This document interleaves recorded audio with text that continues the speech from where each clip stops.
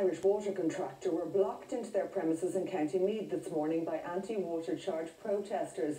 The demonstration, which lasted over eight hours, comes after the government announced amendments to water charges legislation. Enda might think that he can bring things into the Dáil, but people are prepared for it. We are not moving from this, we're not budging. Up to 40 members of Communities Against Water Charges gathered outside the gates of Errigal, a contractor of Irish Water.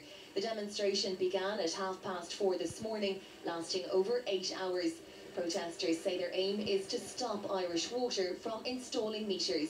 They're in the Fingal area and we were out this morning to stop them from installing any meters in any areas we don't want them. Well, it's been a disruptive day, all right, but I, I believe, in my own personal opinion, that that's down to the workers themselves. Families are crippled with austerity. They can't afford it anymore, and that's why people are out here. We're all people here together, and we're all standing shoulder to shoulder together against Irish water. Today's protest comes just a day after the government announced amendments to a bill which will put the onus on landlords to tell Irish Water who the tenants in their properties are.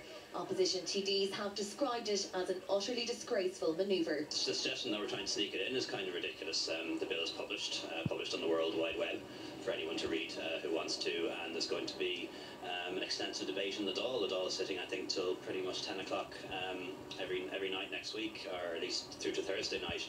So it's being published in the normal way. Uh, there'll be plenty of opportunity for amendments and plenty of opportunity uh, for debate.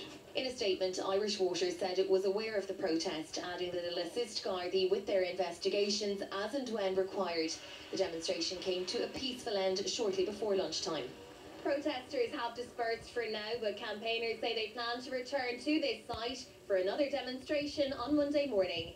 Zara King, Ireland Live in Duleek, County Meath.